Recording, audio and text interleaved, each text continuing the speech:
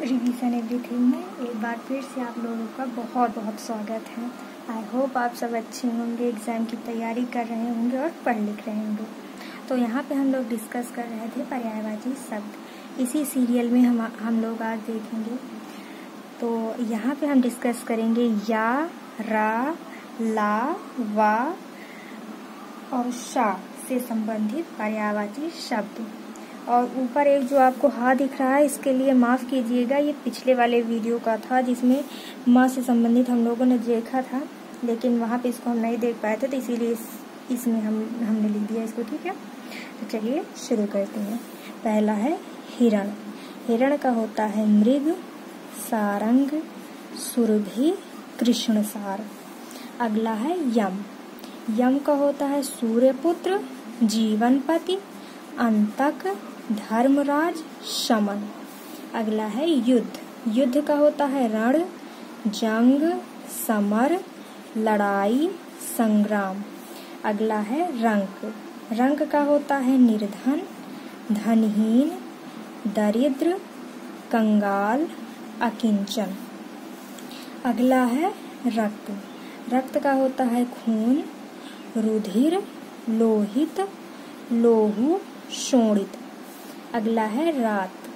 रात का होता है निशीथ, रैन, रात्रि, रजनी, क्षण, यामिनी। अगला है राधा। राधा का होता है वृषभानुजा, राधिका, ब्रिजरानी, हरिप्रिया। अगला है रौद्र। रौद्र का होता है प्रचंड, उग्र, भयंकर, भयानक, भीषण। अगला है लक्ष्मी। लक्ष्मी का होता है श्री, कमला, रमा, पद्मा, हरिप्रिया। हमारा अगला है वन। वन का होता है कानन, अटवी, विपिन, जंगल, कांतार और अरण्य। अगला है वर। वर का मतलब होता है श्रेष्ठ, उत्तम, मुख्य, सर्वोपरि प्रधान उत्कृष्ट। हमारा अगला है वांछित। वांछित का होता है अभिलाषित, अभिप्रेत, अभीष्ट, उपेक्षित। अगला है विद्यालय।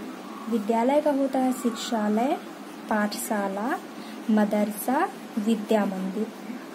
अगला है विष्णु। विष्णु का होता है गरुण ध्वज अच्युत, जनार्दन, चक्रपाणी विषंभर अगला है विपत्ति। विपत्ति का होता है संकट, आफत, विपदा, मुसीबत, आपदा। अगला है विमान।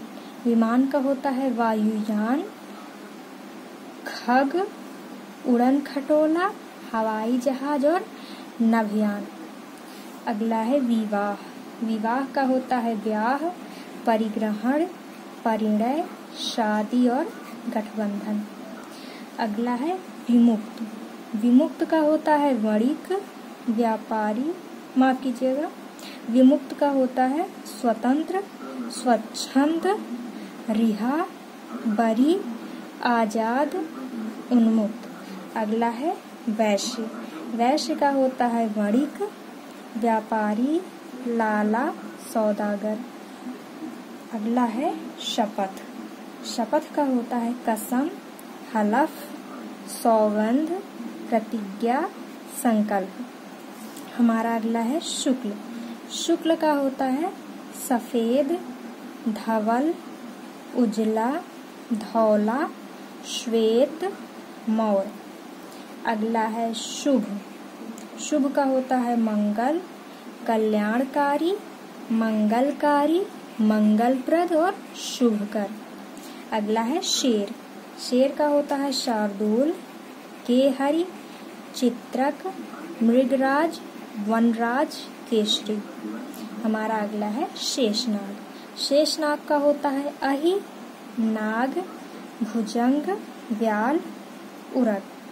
तो आज का हमारा पर्यायवाची शब्द समाप्त हुआ। एक दो वीडियो और बचेंगे जिसमें हम लोग अच्छे से डिस्कस कर लेंगे। उसके बाद पर्यायवाची शब्द समझिए, खत्म ही है। बस दो तीन मिनट का और होगा मतलब दो वीडियो का। तो मिलते हैं नेक्स्ट वीडियो में। Thank you